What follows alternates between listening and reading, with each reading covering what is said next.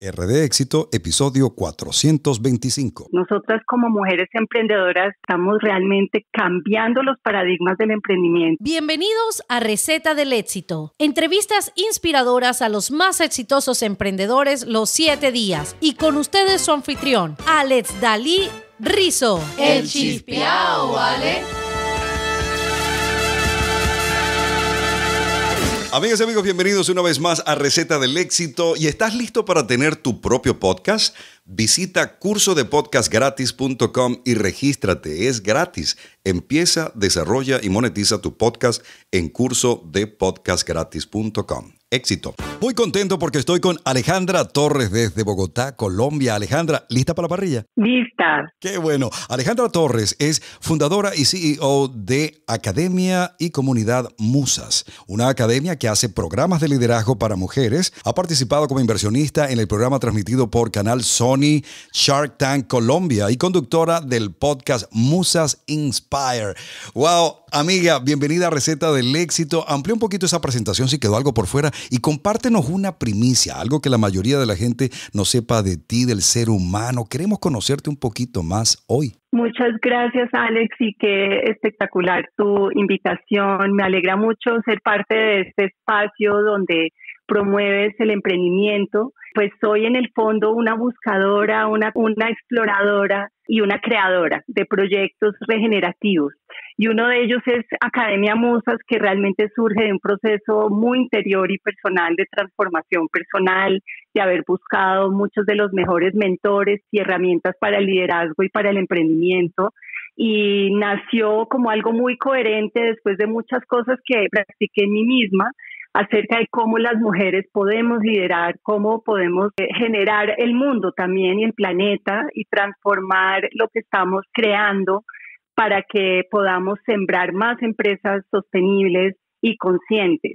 Entonces, muy feliz de compartir más de estos programas acá contigo. Y vamos a compartir y vamos a recorrer toda esa trayectoria que tienes como emprendedora, súper inspiradora. Pero antes, quiero comentar, estás en Bogotá, esa hermosa ciudad con una gastronomía súper rica. ¿Tú recuerdas cuál era tu plato favorito cuando eras niña que preparaban en casa que siempre pedías? ¿Cuál era ese plato? Mi plato así súper bogotano es el ajiaco, que es una sopa muy tradicional que comía desde pequeña en la finca con mi papá cuando éramos chiquitos y mis tres hermanos, nuestra familia, nos encontrábamos los domingos el ajiaco te alimenta el alma porque es pura papa y, y, cilantro y pollo y es una sopa deliciosa que calienta el alma. Qué mm. rico, qué rico. Ahora sí, vamos a abordarnos a, conocer tu genialidad, eh, Alejandra. Si pudieras sacar una ficha y decir, mira, Alex, mi mayor fortaleza como mujer empresaria, como emprendedora que estoy creando esta comunidad es esta, esto es lo mío, con lo que genero más impacto. ¿Cuál sería esa fortaleza? Pues mi fortaleza fortaleza nació de haber estado en estos mundos corporativos muy competitivos en el mundo financiero, aprendiendo pues de números y de estructuras y viviendo mundos bastante duros, ¿no? A nivel, digamos, personal y nació mi fortaleza fue cuando me pude como entrar más profundo a entender qué es lo que me hacía realmente única y diferente y conecté después de como desmitificar muchos modelos y paradigmas en, en torno al emprendimiento tradicional y la inversión, entrar muy profundo a conectar con mi capacidad desde la energía femenina que hombres y mujeres tenemos, que es una energía que es más profunda, está más conectada con la tierra, es una energía naturalmente abundante, es una energía creativa y creadora también intuitiva y es una energía de la cual se puede gestar cualquier proyecto. Cuando aprendí a conectar con esa energía, dije, wow, quiero realmente ahora, ya que sé cómo hacerlo a, nivel personal, quiero aplicarlo a nivel colectivo y tanto ayudar a más mujeres que conecten con ese equilibrio y puedan equilibrarse para ser más empoderadas y brillar más y transformar, pero también desde los proyectos que voy a apoyar, que son empresas sostenibles y regenerativas lideradas por mujeres. Nuestras mujeres emprendedoras, ¿verdad? Que las amo, las, las queremos apoyar, obviamente, en todos los sentidos. Has escogido ese nicho en particular, estaba explorando tu podcast, tu página, que estás haciendo cosas extraordinarias allí. Te pregunto, para nuestras emprendedoras de gente de éxito que nos escuchan en todas partes del mundo, un tip práctico que puedan llevarse nuestra gente de éxito de ti en cuanto al emprendimiento femenino, que puedan ponerlo en práctica hoy mismo. ¿Cuál sería? Sí, yo les diría pues que crean en ellas mismas. Nosotras como mujeres emprendedoras tenemos muchas ideas. De hecho, por, ejemplo, para dar una cifra, en Colombia más del 70% de las empresas hoy en día están siendo iniciadas por mujeres, pero aún hay brechas importantes en el acceso al capital y a poderlas escalar a un siguiente nivel, ya a un nivel más de inversión.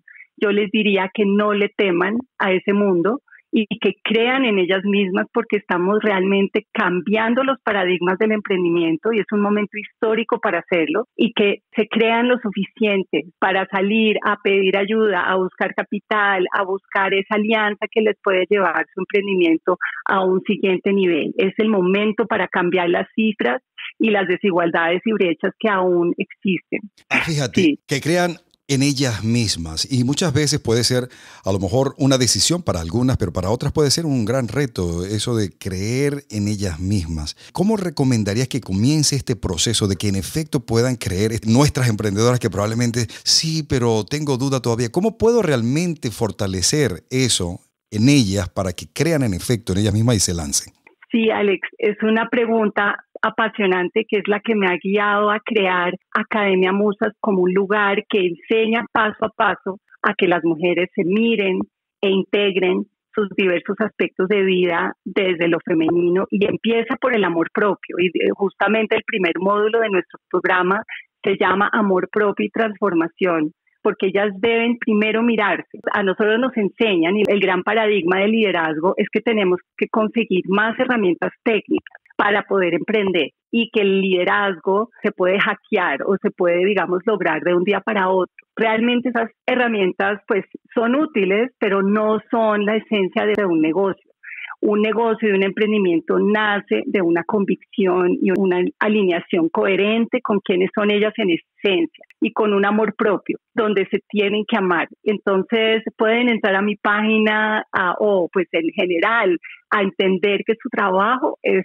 primero mirarse y amarse lo suficiente para creer en que sí son capaces, que son suficientes que no necesitan más afuera. Y es un proceso interior que empieza porque escriban, por ejemplo, un diario. Hay muchas herramientas que pueden hacer, que saquen tiempo todos los días para cuidarse, para consentirse, para sanar sus heridas también y esas creencias limitantes con las cuales muchas mujeres hemos sido criadas y realmente trasciendan, digamos, sus creencias y empiecen a reinventar sus narrativas.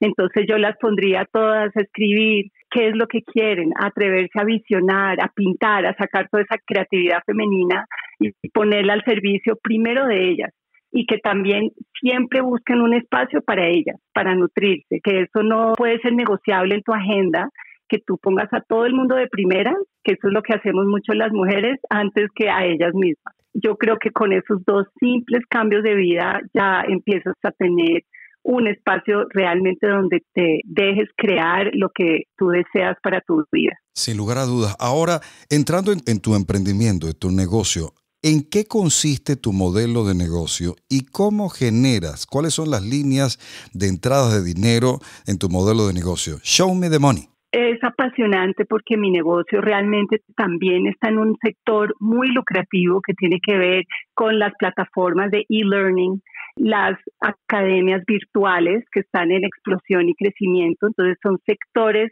realmente que con la pandemia se han acelerado, y ya venían con un crecimiento muy grande, porque la educación informal de las personas y el sector educativo se está transformando y las personas realmente están buscando educarse ya mucho más allá de las edades tradicionales de, de universidad sino que ya la educación es continua para un ser humano y se enfoca mucho también en el tema de desarrollo personal. Hay empresas globales como Mind Valley que ha llegado a millones de usuarios con sus programas en bienestar emocional, ¿sí? en equilibrio de vida con el trabajo y en herramientas para liderazgo.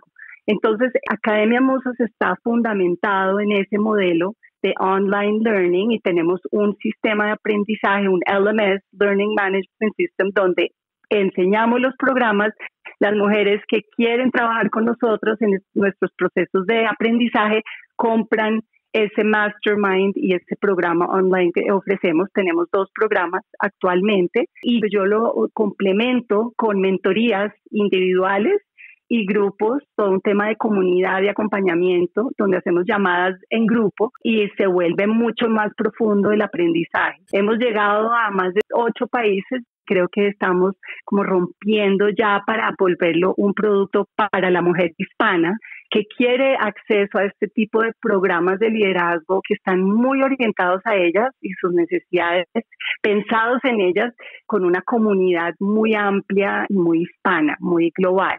¿En qué momento le dijiste sí a esta idea? Porque sabemos que tenemos muchas ideas y esa mente de nosotros emprendedoras constantemente está como incubando una nueva idea y se me ocurrió esta nueva idea, pero no podemos llevarlas todas a cabo. Entonces, llévanos al sitio. Estabas en Bogotá, estabas tomándote un ajiaco. ¿En qué momento le dijiste sí, voy a hacer esto con las mujeres emprendedoras? Cuéntanos para vivirlo contigo otra vez. Yo después de que viví un cambio profundo de vida, yo estaba como directora en el Ministerio de Ambiente con un cargo muy importante y decidí cambiar mi vida porque quería más equilibrio, quería realmente rediseñar mi propia vida. Y después de hacer muchos procesos conmigo y entender, pues me di cuenta que, que había muchas ideas y también tuve una coach que me ayudó a definir cuál era mi idea. E hice un proceso con ella donde hice 50 ideas para ganar dinero. Y de una de esas 50 era esto, era Academia Musas, pero realmente la que más me generó impacto era una combinación de saber que era algo que yo amaba hacer y que lo había hecho conmigo y que sentía que solo desde mi profunda experiencia podía enseñar y mentorear a mujeres que estuvieran en situaciones similares. Y dos, me daba también un poquito de miedo, porque sabemos que vamos a hacer algo que nos va a expandir, que nos va a hacer crecer, que nos va a generar un crecimiento y una evolución en nosotros. Entonces fue esa combinación.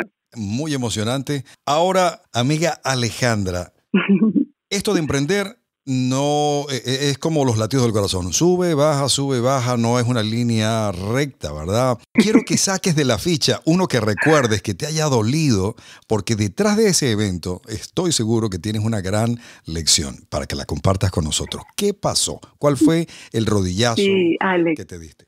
Pues yo creo que el año pasado yo ya tenía un programa desarrollado virtual, entonces creo que fuimos unos como pioneros en ese espacio, lo cual nos posicionó relativamente bien el año pasado durante la pandemia, pero de todas maneras lo que ocurrió, ese, golpe inesperado a nivel mundial, nos hizo repensar muchas cosas en Musa. También pues tenían pues unos aliados en la parte también de Capital Semilla que se llama Musas Invest que tuvieron que retirarse por temas económicos.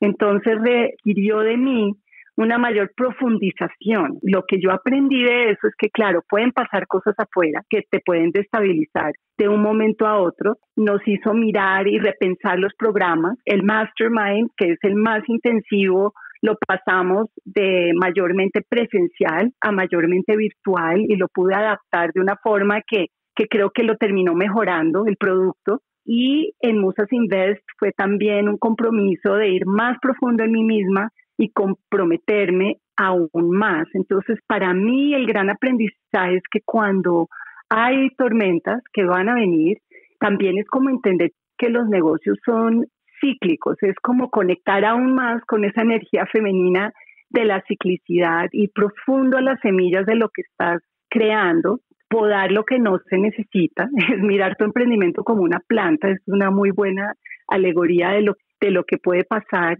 ir muy profundo a entender cuál es ese valor único de tu negocio.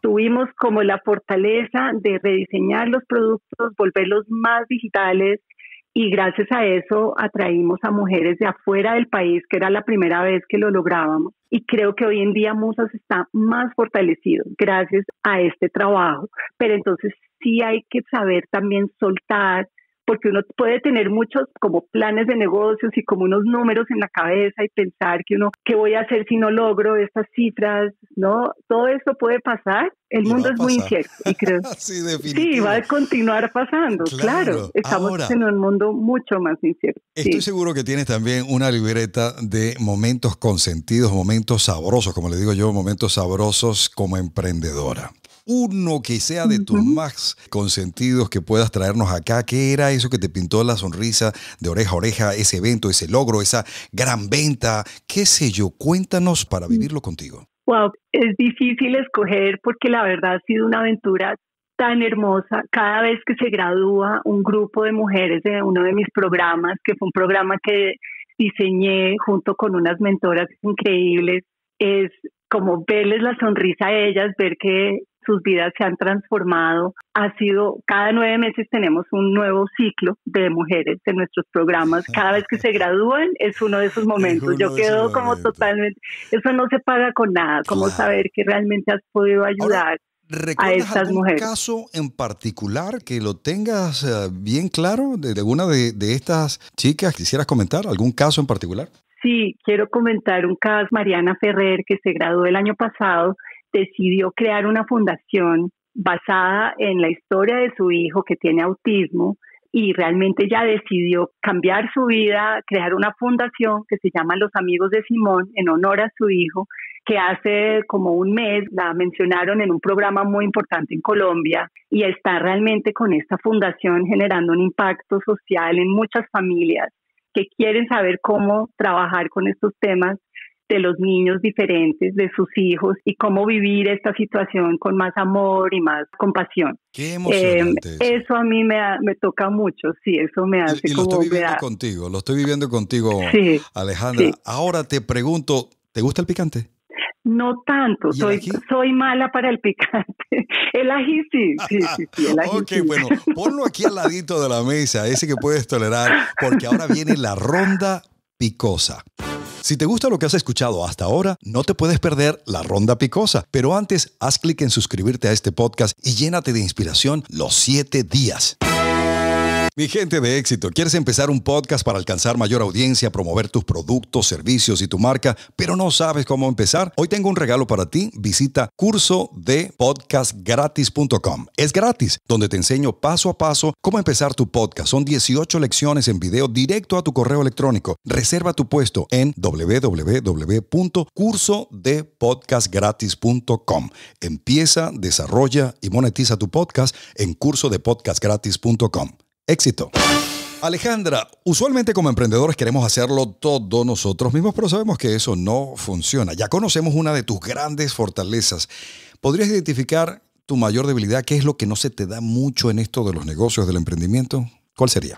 Sí, mi debilidad, yo soy muy meticulosa en los textos que escribo y creo que mucho de lo que es Musas es contenidos bien elaborados y me cuesta trabajo soltar eso tengo que estar revisando cada párrafo porque sí, o sea, me cuesta mucho como soltar en ese tipo de, de apoyos, creo que ahí tengo que pensar cómo hacerlo mejor. la única. Ahora, una persona, Alejandra, que admires, que te gusta lo que está haciendo y por qué.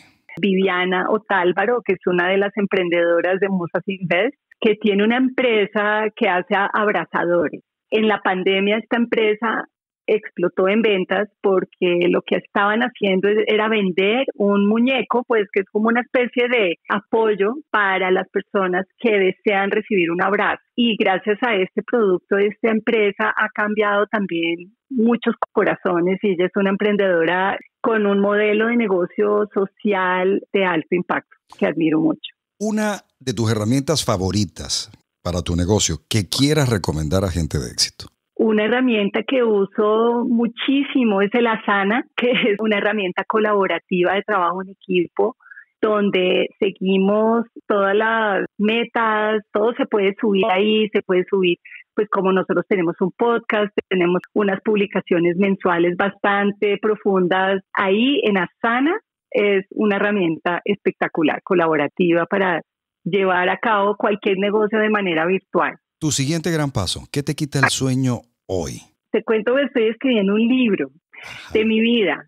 y esto es, estoy muy emocionado porque quiero publicarlo este año, porque este año cumplo 50 años de vida. Tengo una primicia, yo no sé qué fecha exactamente es que tu cumpleaños, pero este año yo cumplo también 50, así que ahí está la primicia para los dos. cuéntame, háblame de ese libro.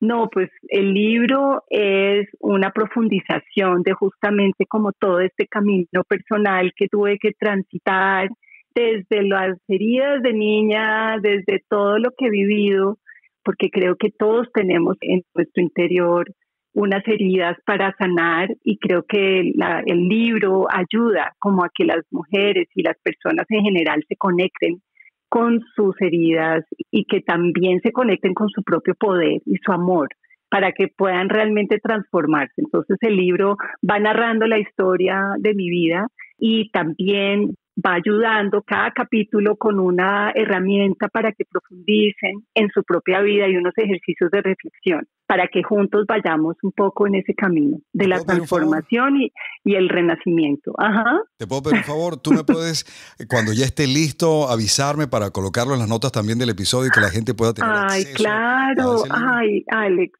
Muchas gracias, claro, yo feliz, feliz, feliz. Qué bueno. Sí. Ahora, ¿Tú recuerdas cuál ha sido el mejor consejo que has recibido hasta hoy en los negocios como emprendedora, que lo tienes bien presente? ¿Cuál es ese consejo que has recibido? Lo recibí de una mentora con la cual eh, tomé un programa, ella se llama Nisha Mutsi, es mi mentora de liderazgo femenino, y ella decía que mires tu negocio como si fuera un jardín no como un cajero automático. Claro, todos los días hay pues las presiones del negocio, hay el tema de la rentabilidad tiene que ser fundamental, pero me ayuda a tomar decisiones más a largo plazo, a pensar que estoy sembrando e invirtiendo en vez de solamente mirando costos y costos, sino mirando más en el largo plazo y generando, ojalá, un verdadero legado. Es lo que quisiera con mi emprendimiento. ¿Tu hábito de oro cuál es? Mi hábito de oro es cantar. Tengo una banda y canto, me gusta mucho, ha sido algo que yo era muy tímida cuando era más joven y, me, y realmente el canto lo veía como algo medio frívolo, ¿no? Y pues en el mundo del trabajo y todo era como, como algo secundario. Yo lo he elevado a una práctica que hago. Creo que el el acto de cantar y conectar con la música me lleva a un estado de presencia, me ayuda a liberar el estrés, y conectar con mi voz. Los fines de semana, cantas en la mañana, durante el día. Canto más los viernes. Los viernes es mi día donde me regalo la mañana para ir a cantar con mi banda y, y cantamos y montamos canciones. Sí. claro que sí. Sí, ah, tengo una página que se llama Totem, esa es nuestra banda y tengo canciones escritas por mí a lo largo de los años que también van contando esta historia de la sanación y el renacimiento. Entonces, pues y también covers ochenteros. Te vamos a ver por ahí. Ahora, un libro, Alejandra, que te haya impactado, que quieras recomendar. Un libro.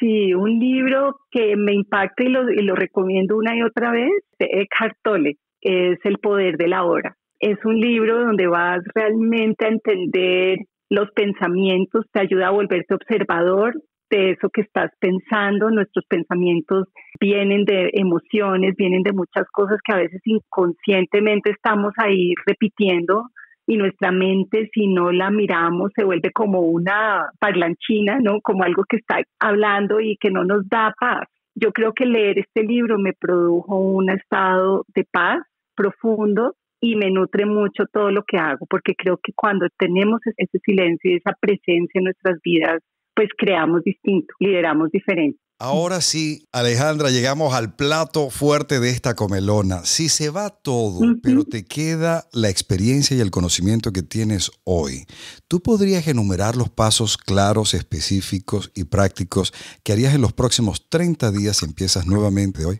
Wow, sí, pues lo vería primero como una oportunidad de reinventarme, y de empezar de nuevo, lo cual me parece fascinante porque creo que como seres humanos debemos transformarnos permanentemente. Yo haría como un retiro de dos o tres días donde me iría a un lugar natural, a conectarme con la naturaleza, a conectar con lo más esencial en mí.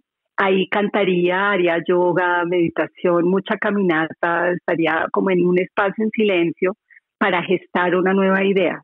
También la empezaría a escribir, porque el poner cosas en escrito es fundamental para generar una nueva visión.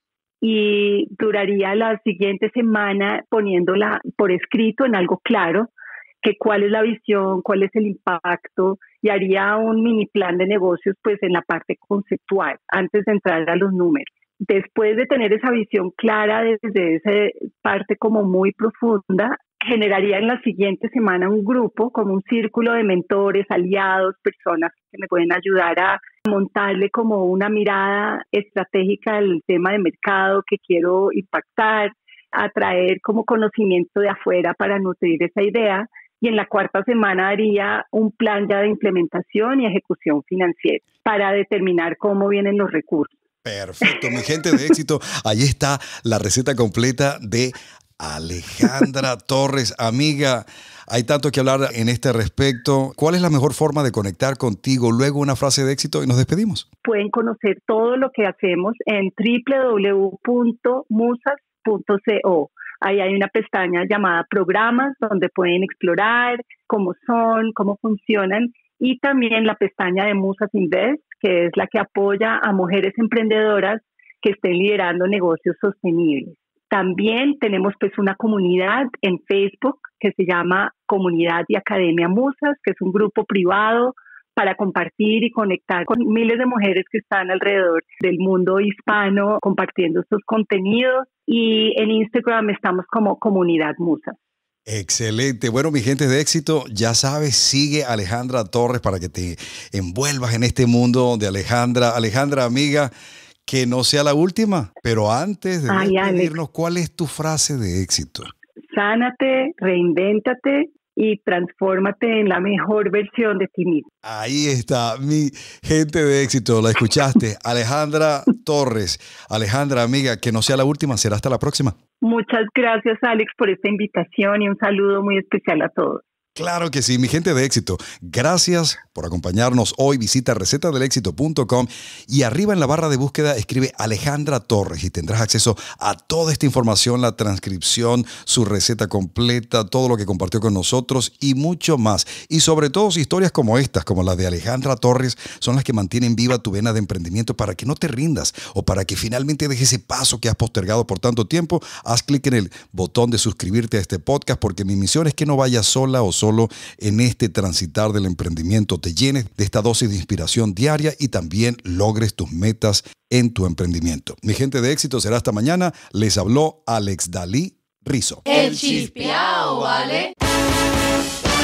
Mi gente de éxito, ¿quieres empezar un podcast para alcanzar mayor audiencia, promover tus productos, servicios y tu marca, pero no sabes cómo empezar? Hoy tengo un regalo para ti. Visita curso de podcastgratis.com. Es gratis, donde te enseño paso a paso cómo empezar tu podcast. Son 18 lecciones en video directo a tu correo electrónico. Reserva tu puesto en www.cursodepodcastgratis.com. Empieza, desarrolla y monetiza tu podcast en cursodepodcastgratis.com éxito. Mi gente de éxito, si todavía no tienes un embudo de ventas o el que tienes no está generando ganancias, ¿qué estás esperando? Tengo el entrenamiento perfecto para ti. El fundador de ClickFunnels, Russell Bronson, ha preparado un reto increíble, One Funnel Away Challenge. 30 días de entrenamiento enfocado, donde aprenderás a crear estratégicamente funnels y productos que se hagan número uno en ventas, usando tus propios hobbies y la pasión que ya tienes. Regístrate ya en recetadelexito.com diagonal reto. Nuevamente, recetadelexito.com diagonal reto.